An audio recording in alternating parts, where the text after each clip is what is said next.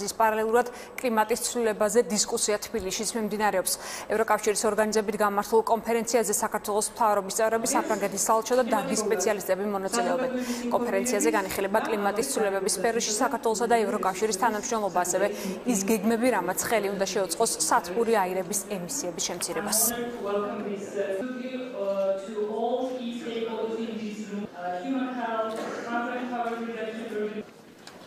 The work in this direction that we start through uh, taking concrete, clear, and universal საქართველოს ნამდვილად არ არის ერთ-ერთი მსხვილი ემი, ასე თქვა, დამაბინძურებელი სახელმწიფო მსოფლიოში, თუმცა იცით რომ ძალიან სენსიტიური არის მაგალითად ჩვენი ბუნებრივი კატასტროფები მომძლავრებული არის, ეს ექსტრემები, ასე თქვა, არის საკმაოდ გახშირებული, ამიტომ ლოკალური ხასიათის ღონისძიება, რომელზეც შეუძლია სახელმწიფომ გამოთქვას კეთლინება და ამავდროულად არის აუცილებლობა რომ განახორციელოს ბუნებრივი ეს არის ჩვენი კონტრიბუცია იმ გლობალური გამოწვევების დასაძლევად, რომელსაც დღეს ეჭიდება მთელი მსოფლიო. It involves კლიმატის ცვლილებების სფერო მოითხოვს ყველა ქვეყნის მხრიდან გარკვეულ კონტრიბუციას, ასევე მნიშვნელოვანი როლი აქვს არასამთავრობო ორგანიზაციებს. ის შეთანხმება, რომელიც უნდა მიიღონ პარიზში აუცილებლად მისაღები უნდა იყოს სამოქალაქო სექტორისთვის. მე იმედი მაქვს, რომ წლევანდელი კონფერენცია იქნება უფრო წარმატებული.